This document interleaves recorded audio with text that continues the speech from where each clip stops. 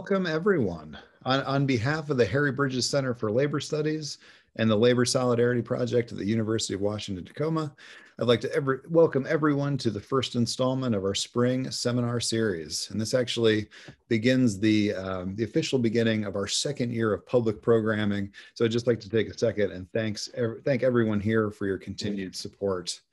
Joining us today is Dr. Heather Berg, who's an assistant professor of women, gender, and sexuality studies at Washington University in St. Louis. And as of this month, she is officially the author of Porn Work, Sex, Labor, and Late Capitalism, which was just published by uh, University of North Carolina Press.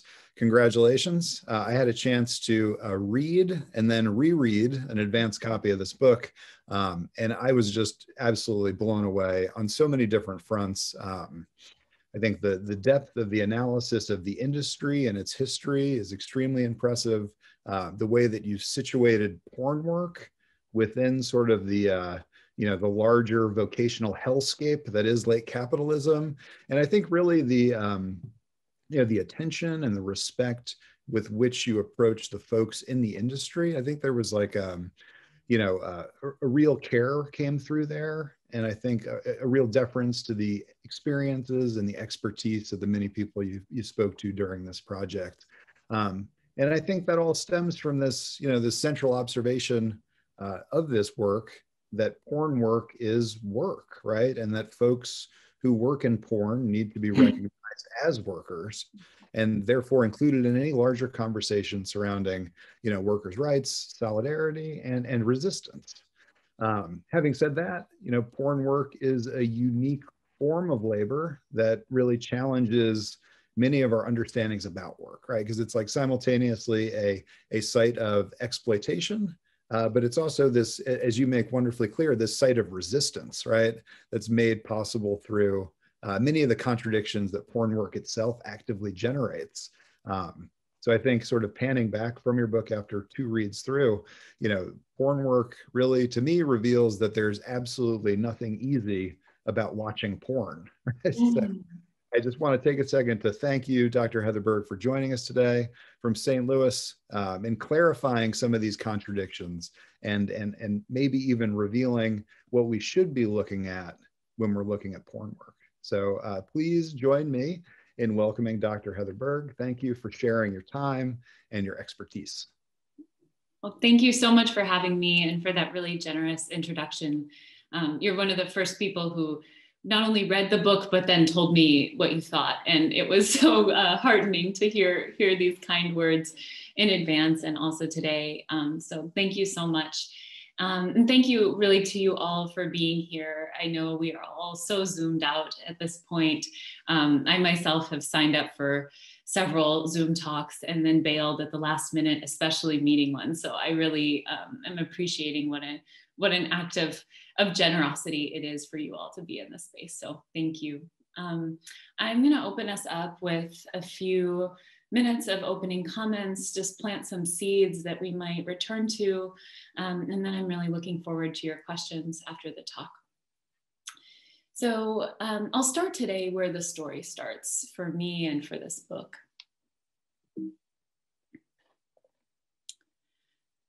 After we talked about wages, connecting with scene partners, policy, and how porn performance is a lot like working in a bookstore, Conner Habib paused to trouble the work language I was using. I don't like the worker part, Habib told me.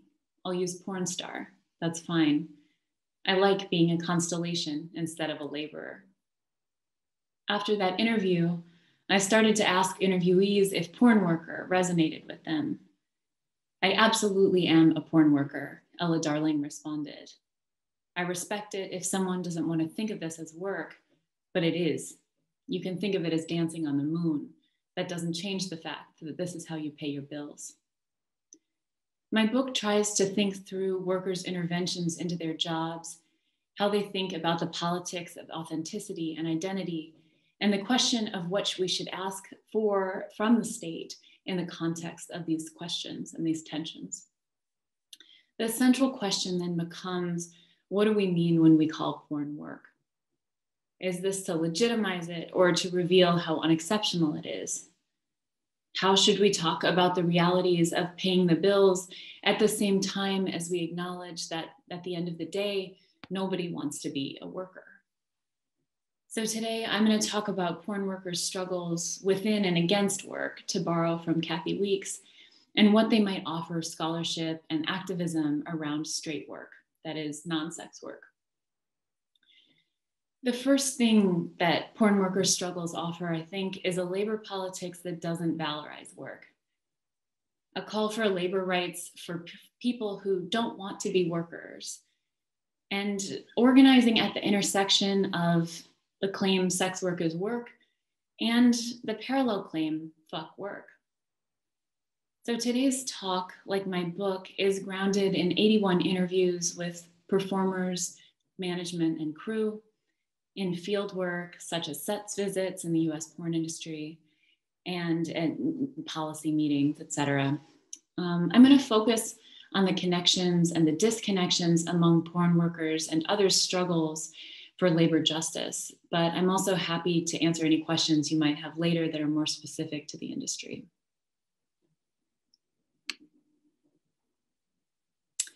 So first, I want to think together about why we should listen to porn workers when we're talking about labor solidarity and labor justice. I'm going to make a few claims here. Um, one is that porn work reveals really deep contradictions at the core of late capitalism. Workers exit traditional jobs in search of autonomy, but they often find precarity on the other side. Pleasure can make work more livable, but also get us to do more of it. The authenticity we seek in sex and work can be sold off for parts, and it can also be sustaining. Workers organize against the twin forces of state surveillance and state neglect. And solidarities break down when workers escape managerial control by becoming managers themselves. These tensions are, of course, familiar to everyone in this space who's concerned with questions of labor justice around perhaps primarily straight work. But I'm going to argue today that the left should be paying attention to how porn workers theorize and navigate these questions in particular. So, this isn't just a call for inclusion.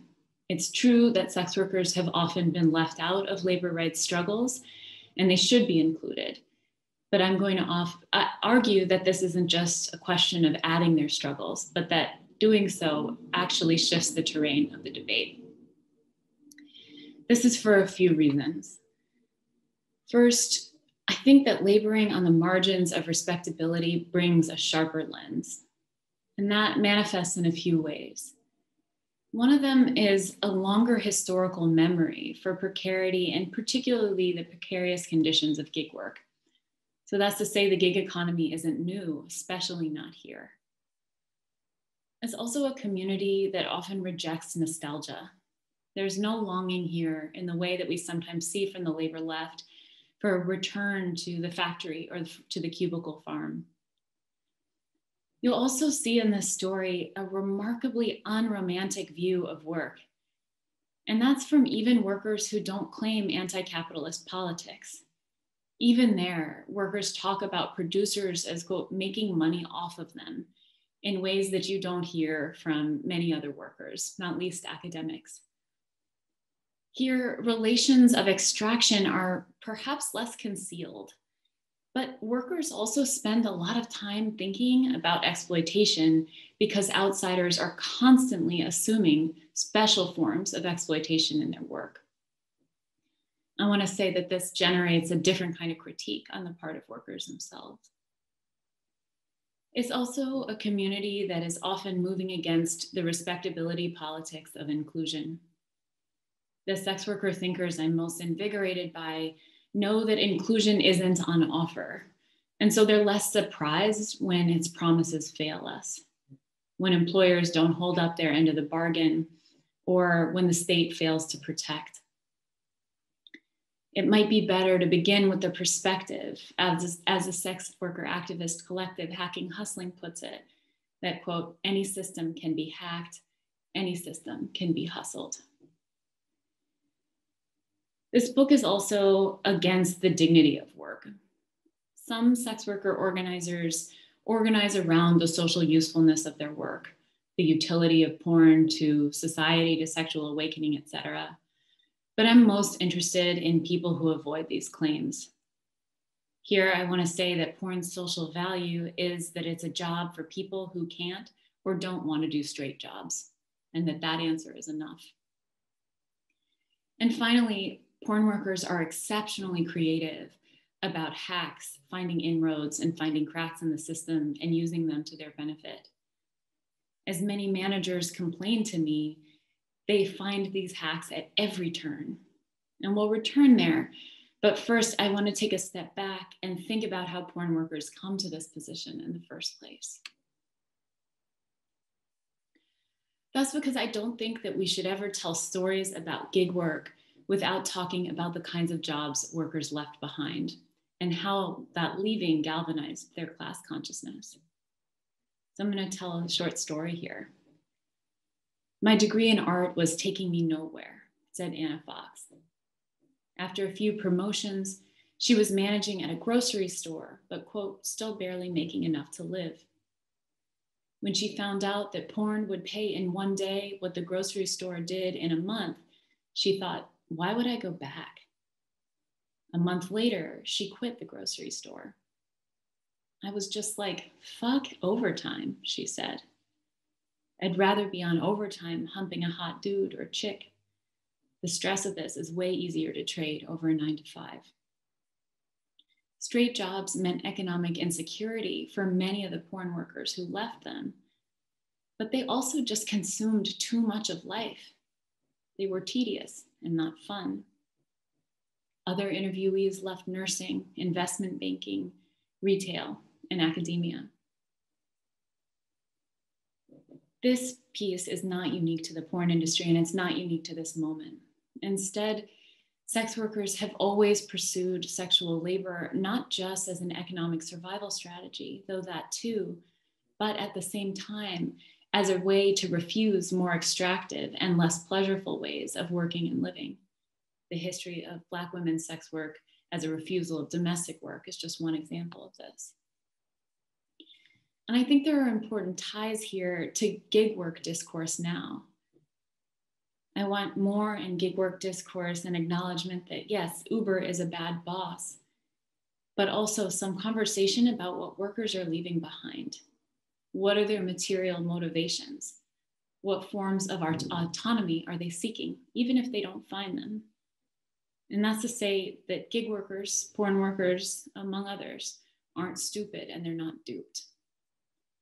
And yet, still, porn work is work and its conditions are often not good. I'm going to offer a few notes on those conditions, but also a reminder that anything that seems violent about these standards is really commonplace in straight jobs too. The first and most obvious is the nature of exploitation under capitalism. As one director performer responded when I asked if whether he paid workers more because he'd been a performer himself, quote, what is the lowest rate I can pay people where I'd still get them to shoot for me? That is standard. Porn has extreme racist pay differentials, racist differentials in onset treatment, and as your own Dr. West has elaborated, racist representational norms that workers must navigate.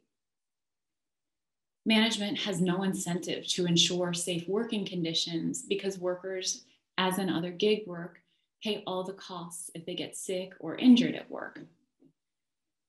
Porn is often also tedious. It's boring more than it is spectacularly injurious or uniquely fun. It offers the mundanities of workplace sexual harassment or just bosses who require you to act like their friend.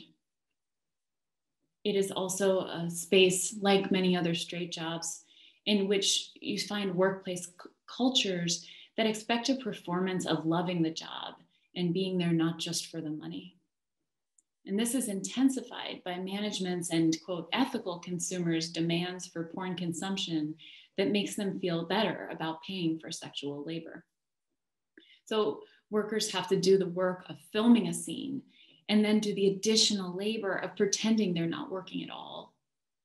They have to get paid and also pretend that that pay is tertiary. And that's to say that the things that many performers find most draining about porn work are rarely what outsiders assume. It's torn ligaments, not child trafficking. It's clingy co stars, not being tricked into performances you don't want to do.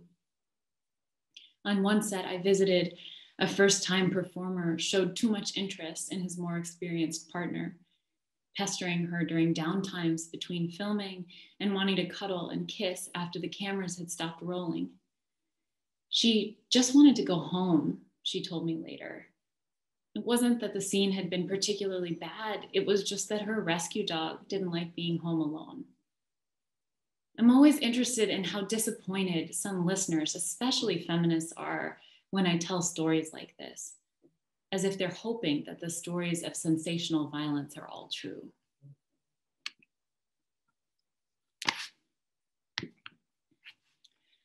But it's because of all of these conditions ranging from the most extreme exploitation to mundane tedium, that performers often do everything they can to avoid working for other people. Performers with less social economic, uh, economic capital rely most on creative arrangements such as trade shoots and producing their own low, low budget scenes. That is, workers who encounter the poorest treatment when they work under a boss are often quickest to try to escape those hierarchies. Racialized performers, for example, often self produce as a way to circumvent racist good old boy producers and agents. Trans performers are quick to self produce so that they may avoid the fetishizing norms of the trans genre. And this is to say that when I talk about worker managers and porn's class trouble, I'm not talking about a labor aristocracy. And still, managerial roles often mean subjecting other workers to the very conditions that you'd hope to escape. Porn's story of class struggle is particularly messy because class boundaries are less calcified here. They're increasingly less so thanks to digitization and the explosion of platforms like OnlyFans, which let performers produce and distribute their own content. And so performer Samantha Grace explained, you have to do other things to make money. Film work is just a form of marketing. I work with other companies so that I can promote my own website, my own films, my own custom videos, and pro doming. Grace's description of how she came to work in the porn industry. She chose sex work as an alternative to low wage retail jobs that left her thinking, oh my God, I'm never going to get out of this, helps contextualize her approach. Retail work meant being trapped, and sex work entrepreneurship promised an alternative. And so once there, she refused to limit herself to the kinds of sex work that, in making money for someone else, looked most like retail porn workers have a keen understanding of the relationships of ownership. They work for others so that they can promote their own websites, custom scenes, products, and services. It's a strategy that is intensely vulnerable to platforms' own ever changing terms of service agreements, to their own extractive payment structures, and to payment processors' discriminatory policy. It's also vulnerable to the constant onslaught of anti sex worker law, such as FOSTA SESTA of 2018. These are policies sold as ways to protect trafficking victims, but they actually make it harder to work independently and thus make workers more reliant on third parties and more vulnerable to the abuses that they, like other managers, perpetrate. But when the strategy to self produce does work, it can mean significant autonomy for workers. This places them in liminal spaces in relationship to the regulatory state and also scholarship and activism, even spaces like the one we're in tonight.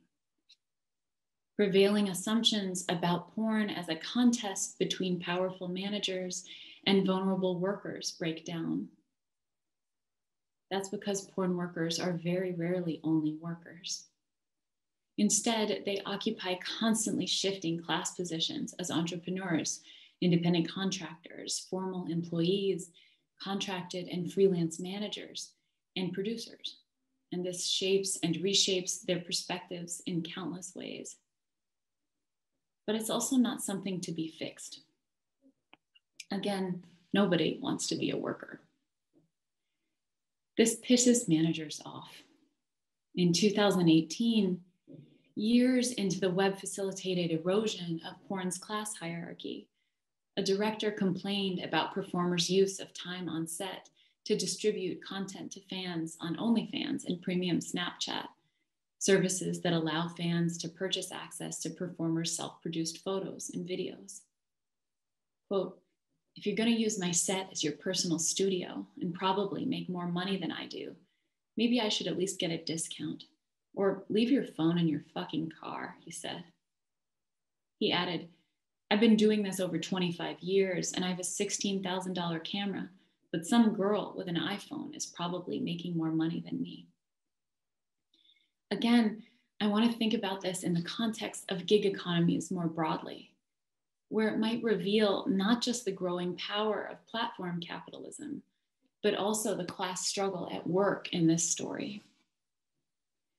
But if it's a problem for management that nobody wants to be a worker, and now porn workers don't have to be, they never did, it's also a problem for the labor movement and sometimes for labor scholars what to do with workers who don't want to be and aren't workers. Most porn workers would rather have no boss than one disciplined by the state or even collective bargaining. And prevailing discourse in the labor left would view this as kind of prototypical of neoliberal entrepreneurship. And it would assume a dynamic that makes broad based solidarity impossible here. Competition cutthroat and working class identity elusive. But none of this holds in the porn work context. Instead, porn workers develop sophisticated networks of mutual aid, share trade secrets with each other readily, and as we've seen, come with sharp class analyses. They know exactly where they stand. And so I want to suggest that analyses and tactics like these might be a better fit for the contemporary economy than those favored by a labor left that in some ways is stuck hoping for Fordism's return. And one that sometimes wants workers who fit neatly into the class categories that marked it.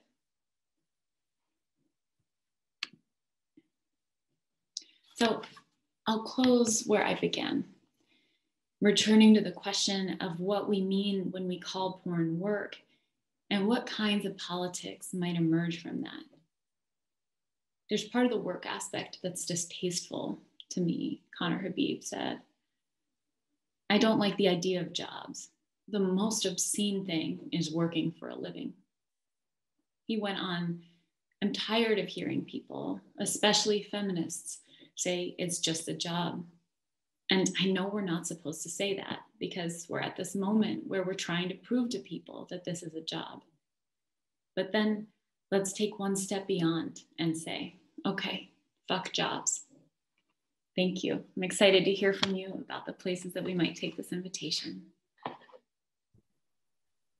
Excellent. Thank you so much for uh, sharing that. Um, I, I, echo that final sentiment. the uh, and and if you have questions, members of the audience, feel free to add them to the chat board. Um, that was a fantastic sort of overview of the work, but I would encourage everyone to, to pick up a copy and dive deeper into this. There's there's a lot more to it. Um, I'm curious to know, and I, I asked this of um, many of our guests, uh, and, I, and I feel like students are often kind of really curious to know sort of how how a project like this comes together. Mm-hmm. Um, and I think especially um, you know with a project like this, sort of what what assumptions did you have maybe heading into this project, and as you um, I knew the number was having read the book. I knew the number was high. I didn't realize you you had 81 interviews. Um, and as you got sort of closer to the uh, the industry itself, you know, were were those assumptions confirmed, or sort of how did your thinking about this industry uh, evolve? Mm-hmm. Yeah, it's a good question. Um, a couple of things. that I, I had a background in sex worker organizing before I went to graduate school and started this project, um, but also labor organizing in mainstream jobs um, and labor policy. And so I came wanting to, in some ways, tell a standard workplace ethnography story about the industry. Um, that so much of the conversation about porn has been focused on um, what it means to really everyone but workers, um, to consumers, to um, from an anti-porn feminist perspective, to what I call third-party consumers. So like not people who watch porn, but um, usually people gendered as women who are harmed because it even exists. Um, and and so much focus on its representational politics. And so i just wanted to tell a story that porn was a job and think about what that meant um, how what working conditions were like what is the set shop floor um, how does pay work how do people get into it those kinds of questions. Um, so if anything my assumption coming in was this is a job and we should talk about it as such. Um, and in some ways that was confirmed. Um, but as you see today in others, people pushed back on that in a lot of ways. Um, I came in, I think, assuming that the story would be more about how unexceptional porn is. And in some ways, that totally bore out. Um, but in others, uh, it became really clear that, that telling the story in such a way that ignored that porn was often a better job for a lot of people um, would be missing something um, and that in some for some people some of the time really doesn't feel like work in a traditional sense at all. Um, so that was the most surprising piece. And and as you see um, in the, the final kind of where i close today um, it's a tricky thing to, to from the perspective of, of marxist labor ethnography to tell a story about about um, about people who disidentify with work and what, what we do with that. So i think that was the kind of primary journey. Um, the other piece, just in terms of like historically, um, when I started working on this project um, in 2012, Los Angeles's Measure B was uh, being hotly debated, and that would have required uh, condom use on set. And I was really fascinated by the reality that workers were overwhelmingly against it, and there was something that felt like worth exploring more fully. Um, and what at the time seemed to me like a, a pretty exceptional thing um, where workers were allying with their bosses against occupational health regulation. And I wanted to figure out what was going on with that. That is, that's a very interesting um, sort of final moment in your book where you're sort of uh, just kind of really showcasing the spectrum of opinions on that particular piece of legislation and yeah and how it runs counter to a lot of our assumptions about sort of you know employment and workplace safety. Um, I'm, I'm curious to know and i guess uh, part of it I'm, I'm, realizing now thinking back on my introduction i feel like i kind of wrote um, wrote some of this into how i described your interactions with folks in this industry. Um, and I'm curious to know, like, from your opinion, I guess when I described the sort of, uh, you know, the care and the respect that you sort of had when interacting with folks in the industry, I feel like I'm I'm sort of reproducing this sort of exoticism with which scholars have approached the industry, right?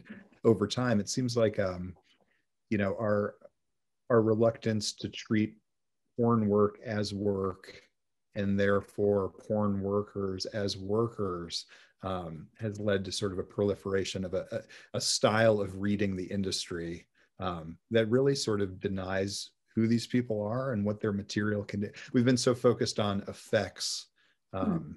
that we've sort of um, allowed ourselves to, to look beyond the material realities that they're confronting on a daily basis. Um, I'm curious to know uh, I, I, think one of the the strengths of this book, I mean, I, I love the way that you sort of tie together, you know, porn work as a type, you know, porn work as something that is not exceptional, even though, you know, in the popular imagination, it sort of occupies this very exceptional space. Um, and how it is like you know reflective of many of the trends in the contemporary labor marketplace which may or may not actually be super contemporary like this kind of gigification you're talking about mm-hmm. um, but what i think you do a great job of is sort of highlighting the way that uh, you know people in porn work uh, wear different hats over the course of an afternoon. They're sort of, uh, you know, they're workers, but they're also managers.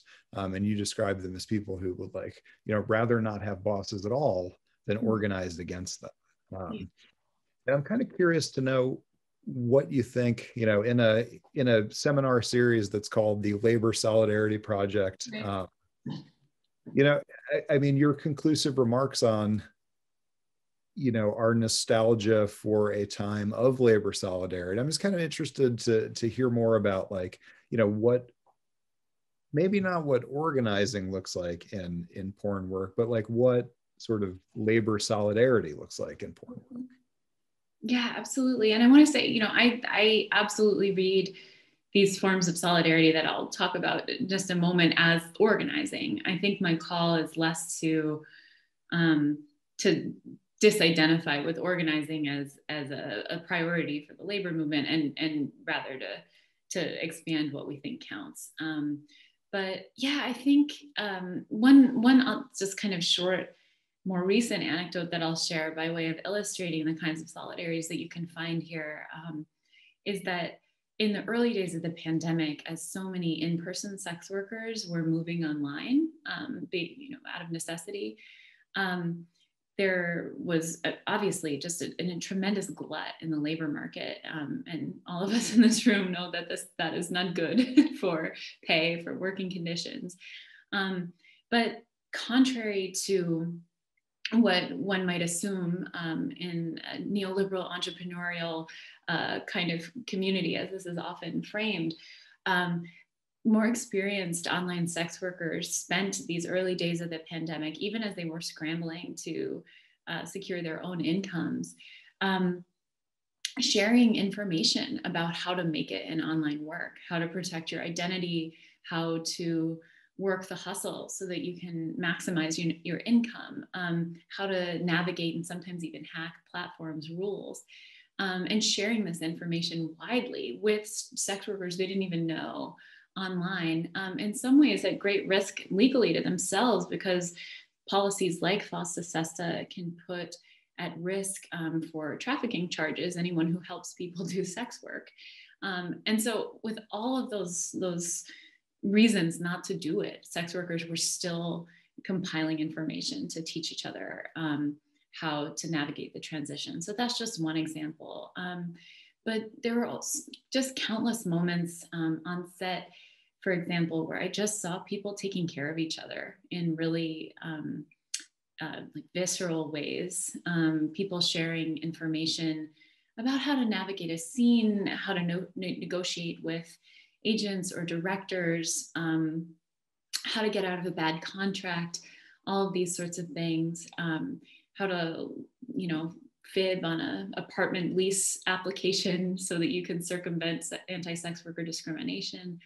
Um, so all of these forms of, of solidarity that I think are also organizing because they have a class character, um, because they take aim directly at managerial imperatives um, and also the, the wants of the capitalist state that wants to prevent um, people, especially women and queers, from doing sex work um, and have you know stronger controls over how they make money. Um, so I think that is class-based organizing. It's just not coming from a kind of tidy position um, of workers who are content to stay that way. Does that give some sense? It does. And actually, this um, somebody on the chat board, I see Joel has uh, chimed in who saw a film about the Lusty ladies organizing with the SEIU mm-hmm. in San Francisco. Um, and uh, I'm kind of interested now uh, because of Joel's comment.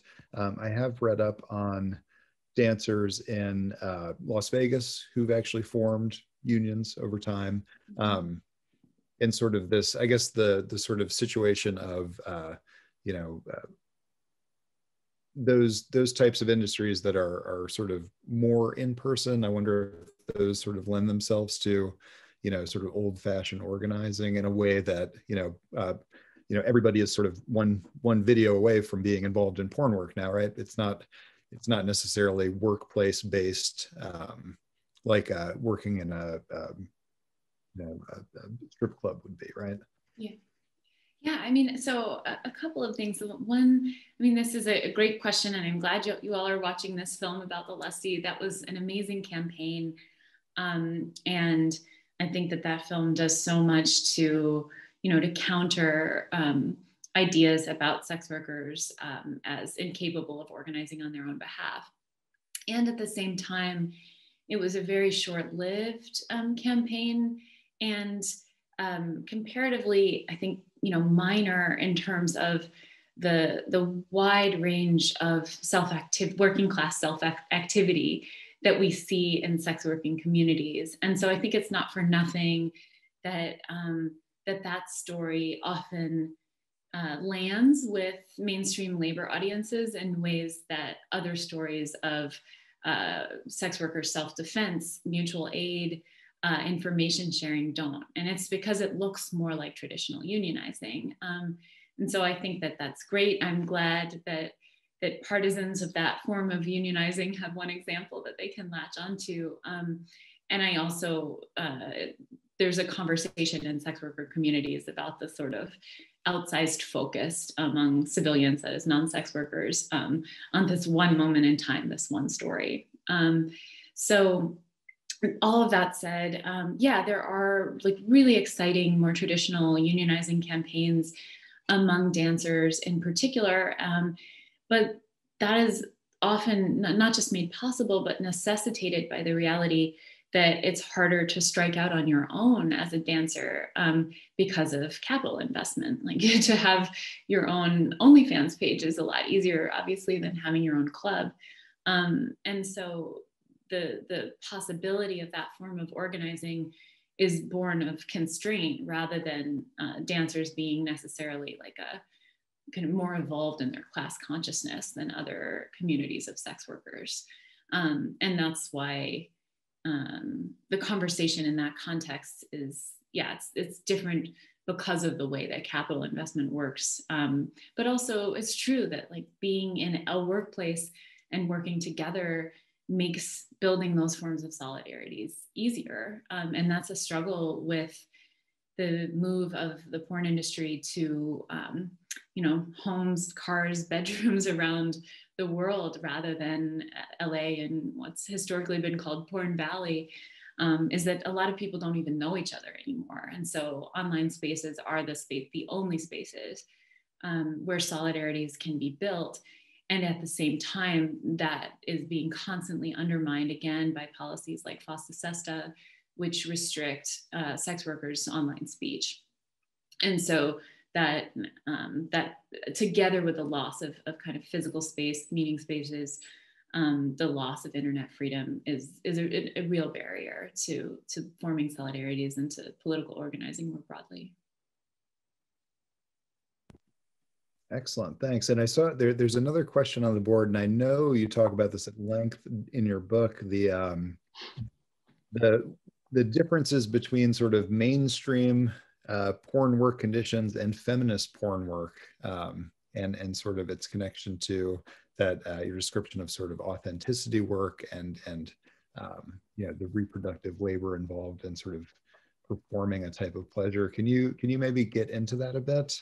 Um, oh. and actually, I have to I have to let my dog into this room because it's scratching at the door. So I'll be right. Okay. Back. Well, after after telling this story of of work interfering with someone's uh, ability to hang out with their dog, I have a lot of sympathy for that. Um, so um, yeah, so I, I mean the the feminist porn piece is uh, in some ways i think like the most controversial so far um, aspect of this text and that is um, i argue in the book that um, that there are a number of um, ethical problems inherent in ethical porn um, one of them is that it implicitly i think answers anti sex worker feminists on their own terms. It accepts the premise that porn, um, that mainstream porn is anti feminist, uh, that workers are treated uh, in uniquely bad ways in that context.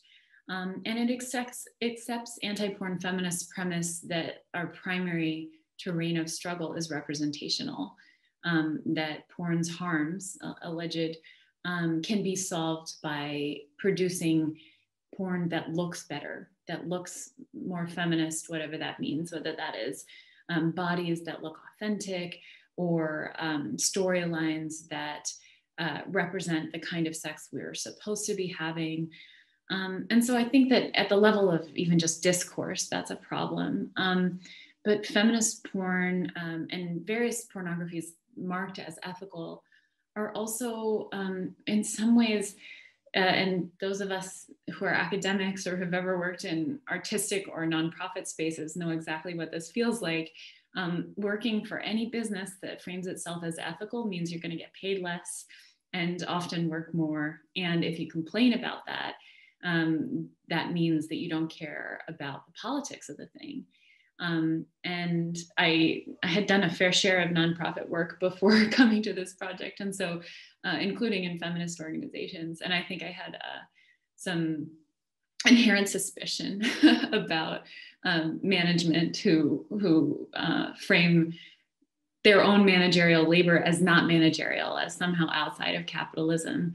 Uh, because it's marked as feminist, um, and that's that is true of many feminist productions. Um, at the same time, they often do have um, some forms of, of, working conditions that are better for workers. Um, it's more likely that workers get to choose their own partners, um, get to make their own decisions about um, protective, um, uh, about safer sex. they tend to be less racist storylines, and all of that matters. And at the same time, workers who either choose to perform in those genres or um, more commonly perform in them because they wouldn't be hired in mainstream um, get paid less again to do more um, and that uh, whether that that reads to you as feminist will just hinge on your definition of feminist um, praxis and so there's something about it that feels a little lean in for me um, and that's something that I want to avoid. I think final, the final thing I'll say about that is that it, it seems to put the power to improve working conditions in management's hands um, rather than paying attention to the ways that workers are organizing uh, around their own conditions, um, making their own demands, and as we saw in the talk today, um, devising ways of circumventing management entirely rather than changing out managers for kinder, gentler ones. Um, so let's see here. Um, Alex, do you want to curate or shall I take it from the top? Sure. Um, I, have been trying to sort of work through the questions that they've come in, and the questions have been fantastic. Yeah. Um, the um, I was really surprised reading your book on the differentials in pay, uh, you know, surrounding ethical ethical porn and you know feminist porn. I mean, I guess as you said, sort of as someone who's been um, you know in, in a in a number of lines of work where i'm doing what i love that often also involves sort of not getting paid nearly as much you know? Mm-hmm. um, I'm, I'm curious and and this i guess sort of touches on uh, the last comment that came in from andrew. Um, you did i, I mean you, your book takes on race and representation. Uh, it, i mean it's, it's not sort of its central focus but i did because you spent so much time um, you know, interviewing folks in the industry, I was really curious about, um, and this actually touches on maybe another one of the questions that, that came in about folks sort of transitioning through the industry, going from, um, you know, performer to producer to, um, you know, to sort of uh, acquiring more of the means of production, so to speak. Mm-hmm. Um, but in the case of, I'm, I'm, thinking specifically of Lexington Steele, um, and then there was one other performer who eventually became a producer of a, a you know a, of an uh, what was it? Silverback entertainment sort of uh, you know sort of playing on uh, you know archaic racial tropes. I, i'm sort of curious about whether you know the performers um, was there a sense of uh, you know complicity or, or sort of responsibility in rehearsing those racial scripts that have again like historically been applied to you know brown and black bodies to you know really rationalize violence and, and over policing and i think um, you know some of the observations were really interesting and empowering but some of them were also really really troubling and kind of you know speak to the antithesis of sort of kind of maybe solidarity or or sort of um, you know i was just surprised to hear you know a, a you know a, a, black performer talking about race in that way. Um, mm-hmm. and i was wondering were they sort of cognizant of the, the politics that often get framed around those representations? Absolutely cognizant. Yeah and i'm and I, i'll say i'll just preface this by saying you know i, I don't think it's my place as a white woman, but really any like and, and the place of anyone who's not a black sex worker to determine um, whether or not it's ethical to make money off those representations. So I, from from my perspective, um, you know, if, if if black workers make a calculation that this makes sense to them, um, then that's enough explanation for me. Um, but yeah, I do think there are these interesting conversations about what uh, about solidarities with not just among workers, but with you know working class people in general who um, who may or may not be um, you know face the consequences of representational norms. Although I think that the, the there's an outsized focus on um, how how the porn industry in general, but in particular sex workers, um, on their responsibility to um, to decide to opt out of those representations. Um, so there's all of that. Um, but uh, in terms of like Black performer managers' own self understanding around this, yeah, people were really straightforward with me about the calculations that they were making.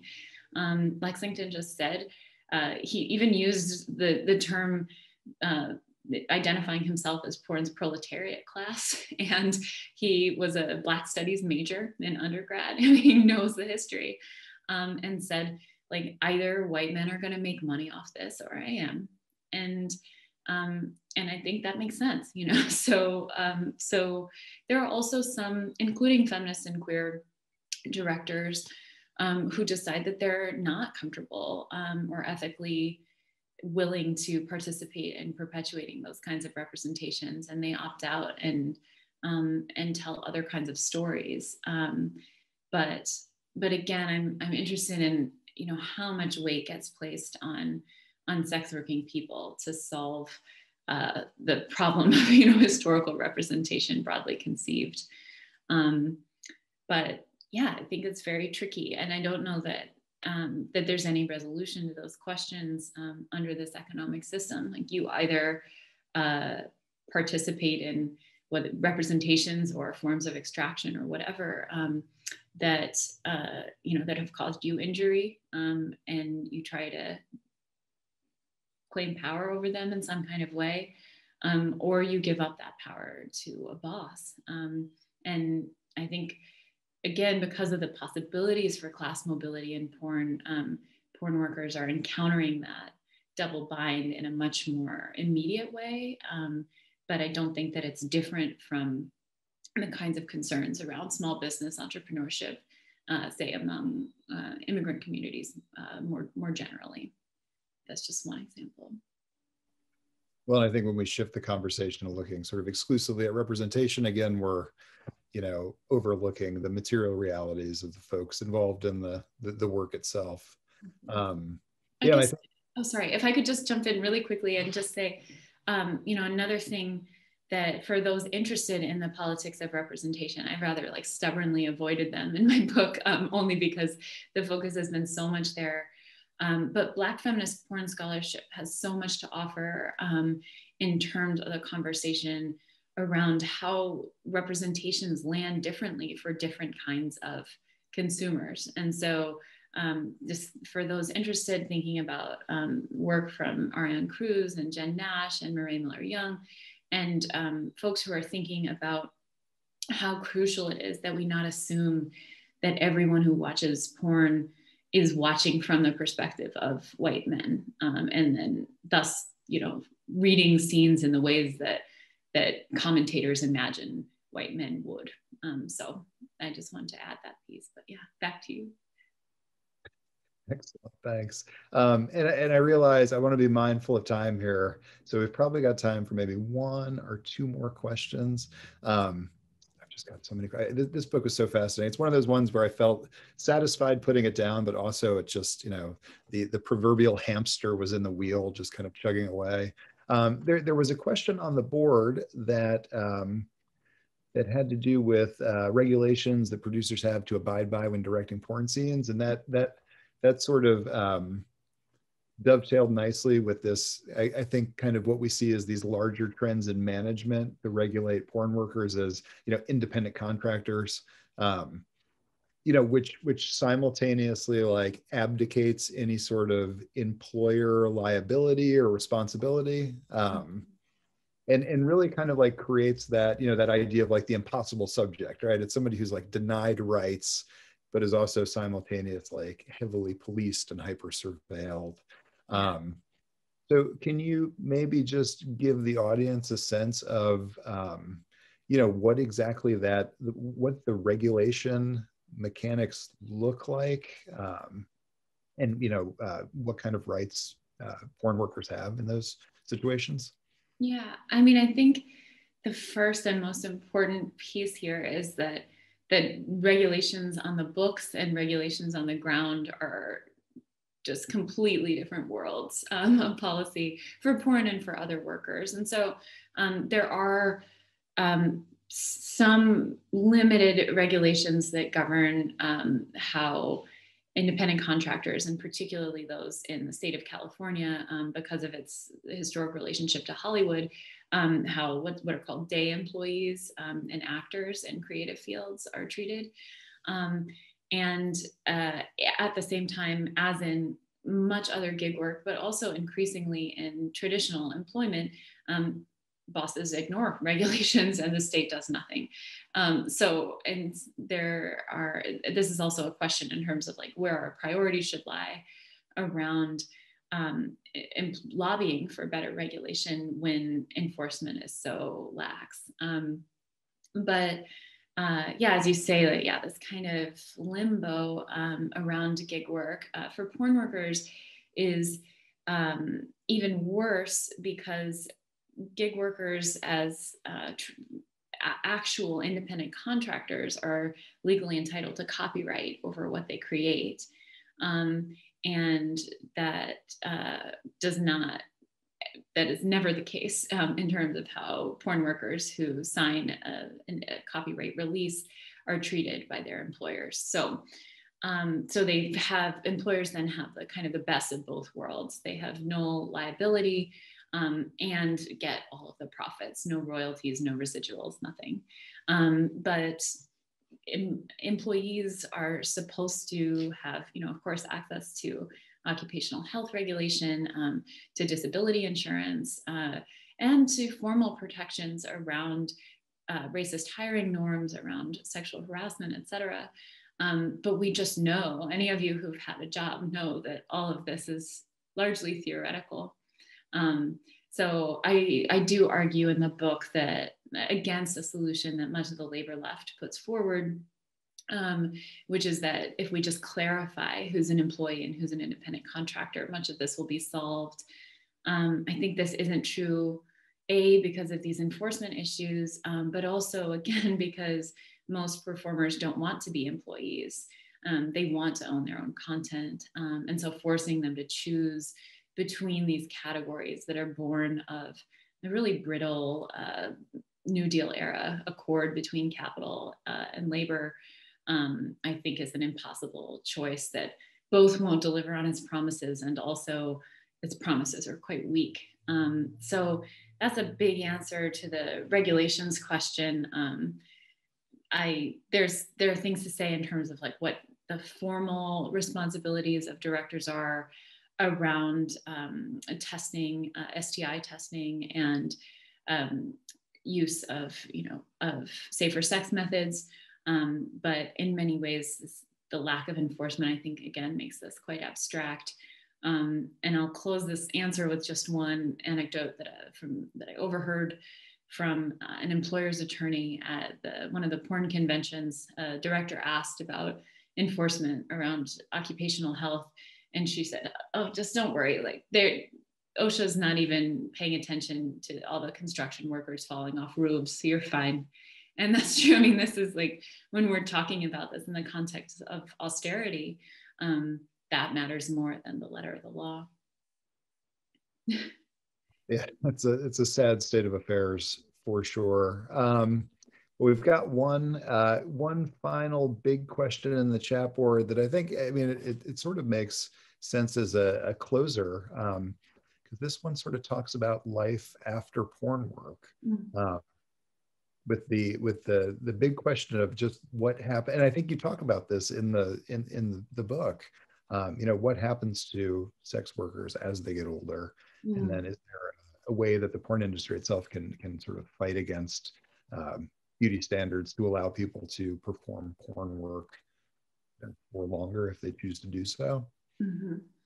yeah um, so yeah this this question around what people in the industry often call aging out is really um, it's a crucial question um, in an industry where you know traditionally the understanding has been that one has just a few good years um, and that's not i think often um, an anti-porn read suggests that this because consumers have this like inordinate fascination with youth which is sometimes true um, but it's also because when shooting for other people, and particularly when contracting with an agent, um, the standard was for agents to, I'm going to quote a performer here, get as much work out of you as they possibly can until you're shot out, and then your your um, you know your star has fallen. And so workers have always had really creative um, responses to this, whether that be trying to move into directing roles or um, historically a really common move has been to use porn stardom to get a leg up on the erotic dance circuit. Um, and for those interested in the history of this, there's a podcast called The Rialto Report that has really wonderful stories around, along these lines. Um, but increasingly, especially as more and more workers are self producing, um, these kind of old rules about who's marketable are really crumbling. Um, and uh, and that both shapes the possibilities for for future work for workers as they age, um, but also for people who either would have been relegated into you know really fetishizing productions, uh, particularly racialized and trans workers. Um, and then folks who never would have been hired by a producer in the first place, people with visible disabilities, um, people, uh, fat people, um, various categories of, of would be performers who were written out of representation um, before and who in some cases are now making more money than the people that uh, that agents had thought were the only marketable um, kind of um, bodies or genres in the first place. And so i think there's something there around um, the reality that sex workers because they're in in closer contact with fans and with clients um, have a much deeper but also more capacious understanding of the reality that there is a market for everyone um, and that directly contradicts what many agents and traditional producers told me about what sells. Excellent. Thank you for that answer and thank you for all of these answers. It's just it's so nice to um, i mean one of the joys of this seminar series is to get to you know read work and then actually talk to the authors and and sort of uh, you know see the you know the, the ideas sort of animated through the actual uh, q&a so this has been absolutely fantastic. Uh, thank you so much for joining us today. Thank you for everyone who uh, zoomed in to hear this talk. Uh, i cannot encourage you enough to go out and buy this book. It is absolutely fantastic. It is uh, it hit the press just this month right it, official official Monday, yeah. Oh my God, I didn't realize that. Now that makes me feel really special. Um, congratulations too, because this is really, it's just, uh, it's it's one that I'm going to be using in class for years to come. Um, so it was just such an honor to get a chance to talk to you, and um, and yeah, best of luck on your next project. Do you have a next project in mind, or you take you take your victory lap, of course? Oh yeah, no, I I uh, for all my anti-work sentiments, I'm bad at, at relaxing. So I um, yeah, I'm I've done a, a, bunch of interviews for a, a next book on um, an intellectual history of the sex worker left. Um, so thinking about the history of sex worker communisms. Um, and I'm really so moving away from labor ethnography, but but trying to dive deeper into some of the threads that I was only able to touch on here, but just around the kinds of anti-capitalist critique that are born of of um, being at the front lines in the ways that many sex workers are. So so that's my next order of business. Excellent. All right. Well, we uh, look forward to it, and thank you again so much for for joining us today. Thank really- you so much for having me. Um, and if folks uh, have questions from the chat. I haven't been following the chat, but um, folks have questions that I didn't get to, feel free to, to either hang back in the room or shoot me an email. I'm happy to address them.